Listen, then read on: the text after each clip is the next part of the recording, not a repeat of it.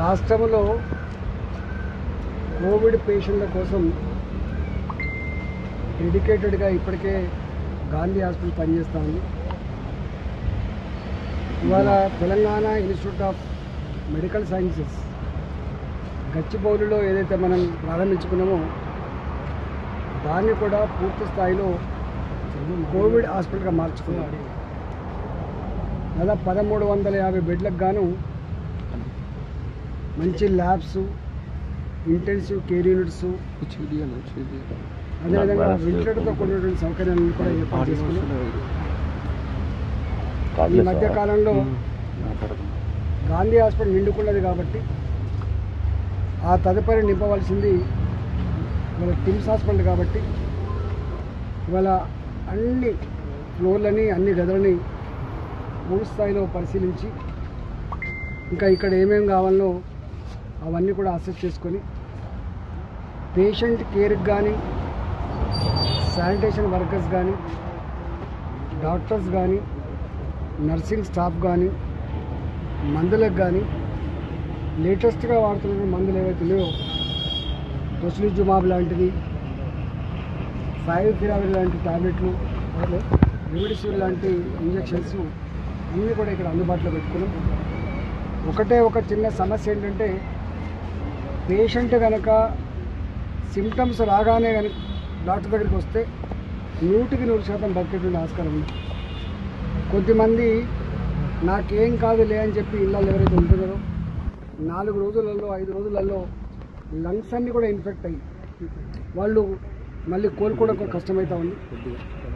ఈ కోవిడ్ లక్షణాలలో అనేక రకాల లక్షణాలు ఉన్నాయి జ్వరము జలుబు దగ్గు నీరేచనాలు కాళ్ళమంటలు ఇట్లా అనేకం ఉన్నప్పటికీ కూడా అన్నిటికంటే ఎక్కువ భయంకరంగా పీడిస్తున్న మనిషిని ఉక్కిరి బిక్కిరి చేస్తున్నది లంగ్స్ ఇన్ఫెక్షన్. ఇవాళ ఒకసారి సాచురేషన్ లెవెల్ తగ్గిన తర్వాత ఆక్సిజన్ పెట్టినప్పటికి కూడా వాళ్ళకు ఆక్సిజన్ లెవెల్ పెరగట్లేదు. అంటే ఆక్సిజన్ ఉన్నప్పటికి కూడా లంగ్స్ ఆక్సిజన్ తీసుకునే కెపాసిటీ లేక ఆ ఆక్సిజన్ని బ్లడ్కి పంపించేటువంటి కెపాసిటీ లేకపోవడం వల్ల మృత్యువాత పడతా ఉన్నారు.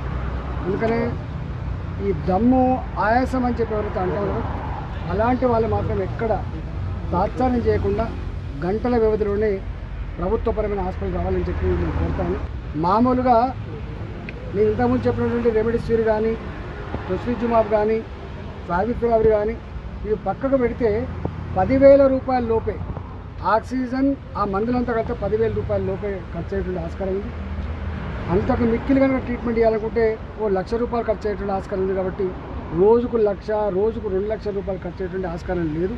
ఇలా ప్రజలు వాళ్ళు భయపడి ప్రైవేట్ హాస్పిటల్కి పోవడం వల్ల డిపాజిట్ చేస్తేనే మీ పే మీకు బెడ్ ఇస్తాం రోజు లక్ష రూపాయలు కడితేనే ట్రీట్మెంట్ ఇస్తాం అని పది లక్షలు పదిహేను లక్షలు అయితే ఇలా ఖర్చు పెడతామో అంత బాధాకరమైన విషయం నిన్ననే దీని మీద పూర్తిస్థాయిలో సమీక్షించడం ఎవరైతే బాధ్యతారహితంగా వ్యవహరిస్తూ ఉన్నారో ఇవాళ అడ్డగోలుగా ప్రజల మీద ఈ భారం పడేస్తుందో అలాంటి వాళ్ళ మీద చర్యలు చేపడతామని చెప్పి నిన్న రివ్యూ చేశాం.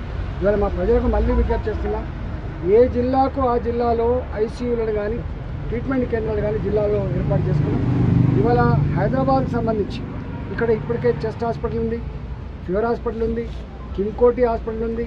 ఇవాళ కిమ్స్ హాస్పిటల్ ఉంది కాబట్టి సరిపోయినన్ని బెడ్లు ఉన్నాయి సరిపోయినన్ని బెడ్లు ఉన్నాయి.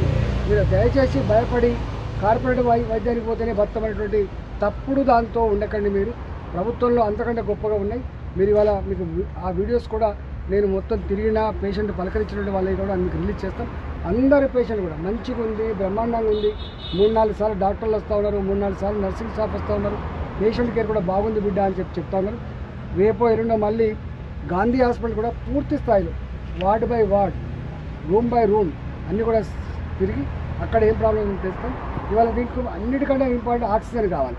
ఆక్సిజన్ పెట్టడానికి నిర్ణయం తీసుకున్నాం. ఒక వారం రోజుల లోపల అది కూడా వస్తుంది. ఒకసారి లిక్విడ్ ఆక్సిజన్ అది కనుక పెడితే ట్యాంక్ కనుక పెడితే ఈ ఆక్సిజన్ సమస్య ఉండదు. ఇవాళ వరంగల్ హాస్పిటల్లో అదేవిధంగా ఇక్కడ సరోజిని హాస్పిటల్లో చెస్ట్ హాస్పిటల్లో కింకోటి హాస్పిటల్లో ఇలాంటి అన్నిట్లో కూడా లిక్విడ్ ఆక్సిజన్ పెడతా ఉన్నాం. ఈ సిలిండర్లు ఒకసారి దొరుకుతాయి ఒకసారి దొరకవు ఒకసారి షార్ట్ ఫాల్ ఉంటుంది కాబట్టి ఒకసారి లిక్విడ్ ఆక్సిజన్ కనుక వస్తే వారం రోజులు పది రోజుల వరకు ఆక్సిజన్ అంతా నిల్వ ఉండే ఆస్కారం ఉంటుంది కాబట్టి రాష్ట్ర వ్యాప్తంగా అనేక హాస్పిటల్లో లిక్విడ్ సిలిండర్లు పెట్టడానికి నిర్ణయం తీసుకున్నాం. ఇవాళ గచ్చిబౌలిలో ఇంతకుముందు చెప్పిన గచ్చిబౌలిలో సరోజిని కంటి హాస్పిటల్లో రెండు చెస్ట్ చెస్ట్ హాస్పిటల్లో మూడు తిరుకోటి హాస్పిటల్ నాలుగు ఫీవర్ హాస్పిటల్ ఐదు ఉస్మానియా హాస్పిటల్ ఆరు. అన్నిట్లో కూడా ఇప్పుడు గాంధీ ఆల్రెడీ పెట్టున్నాం. అన్ని హాస్పిటల్లో కూడా లిక్విడ్ ఆక్సిజన్ ట్యాంకులు పెడతా ఉన్నాం. అది వచ్చిన తర్వాత ఆక్సిజన్ బాధ లేదు. ఇలా ఉన్న వల్ల కూడా వెయ్యి బెడ్లు ఉంటే వెయ్యి బెడ్లకు కూడా ఆక్సిజన్ కావాలి వెయ్యి వెయ్యి బెడ్లకు ఆక్సిజన్ కావాలి మందుల కంటే ఇంపార్ట్ ఆక్సిజన్ కాబట్టి ఆ ఆక్సిజన్ కొరత లేకుండా ఆదేశాలు ఇచ్చి పదవ తారీఖు లోపు ఈ సిలిండర్ల స్థానంలో బల్క్ ఆక్సిజన్ సిలిండర్లు కూడా రాబోతున్నాయి.